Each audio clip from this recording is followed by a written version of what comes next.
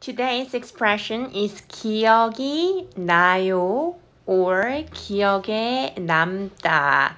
기억 it's a memory and then 남다 means remaining or left.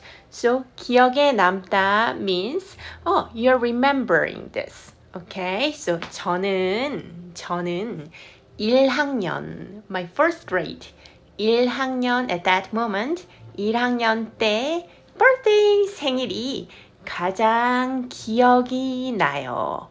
어, 기억이 나요. Most memorable birthday for me was first grade. At that moment, 그때 for the first time, 처음으로, 처음으로 친구들을, 친구들을 생일 파티에 초대, invite, 초대했어요. 초대했어요. 친구들은 우리 집에 everyone 모두 to play 놀러 왔어요. 놀러 왔어요. With my friends 친구들하고 맛있는 음식 food 맛있는 음식도 많이 먹고 그리고 and 재미있게 we play together 놀았어요.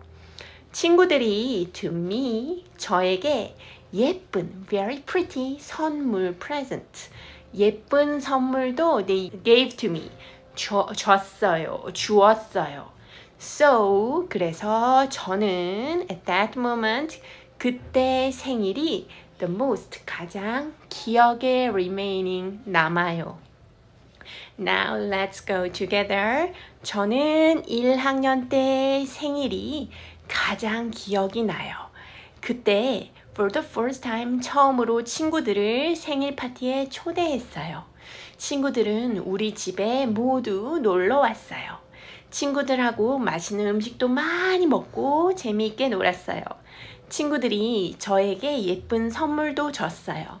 그래서 저는 그때 생일이 가장 기억에 남아요.